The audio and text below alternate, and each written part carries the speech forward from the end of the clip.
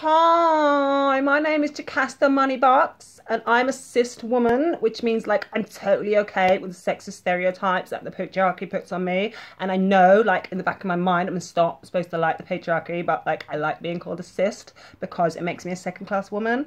Anyway, I go to Goldsmiths College, like daddy paid for me because he's such a doll. I was totally going to do a gap year in Africa uh, and feed starving babies because it would look so good on my Insta. But then, like, my non binary, genderqueer, fluid, two spirit, non binary, did I say that? What else are you? Frenzy Zim here, like, told me about these women.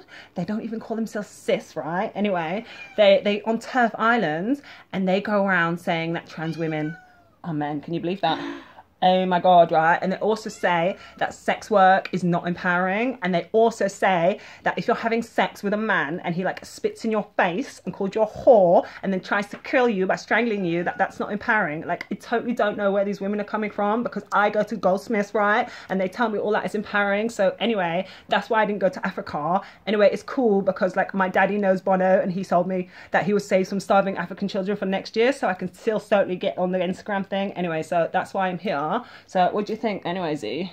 It's like shocking, isn't it? These women that totally think that trans men are men. I mean, what?